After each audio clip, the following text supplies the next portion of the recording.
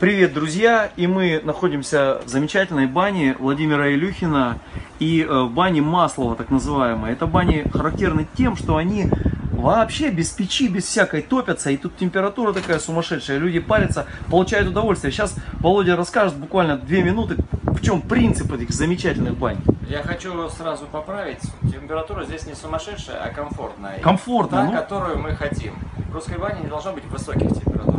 Бане парятся от слова пар. Это точно. Если мы в бане находим с вами 100 градусов, то места для пара там не останется, иначе мы с вами сваримся. Поэтому в нашей бане температура гораздо ниже, примерно там на уровне полока 45-50 градусов. Ага. Самое горячее место это потолок. да. Потолок нагревается, Да. а э, именно тут за счет нагрева потолка Греется идет, помещение. греется все помещение. То есть не конвекционное получается Да. тепло, А вот чисто. а тепло лучистое, очень мягкое, очень приятное для тела.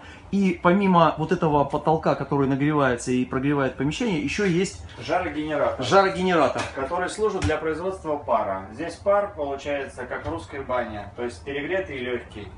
Вот, в этой бане 17 числа проходили соревнования по а, спа-бане, проходил чемпионат мира. Вот, а, приезжали а, мастера из Прибалтики, из Украины, из Белоруссии, и я представлял Россию. Наши победили, естественно. Ну да, я взял первое место. Отлично. Володя, мы поздравляем вас. И замечательные бани Владимира Илюхина и Маслова э, мы будем э, россиянам пропагандировать. И сам вот этот, э, саму замечательную вот эту процедуру, традиционную, старинную, российскую парение в бане с удовольствием будем испытывать и использовать во всех регионах, во всех ипостасях.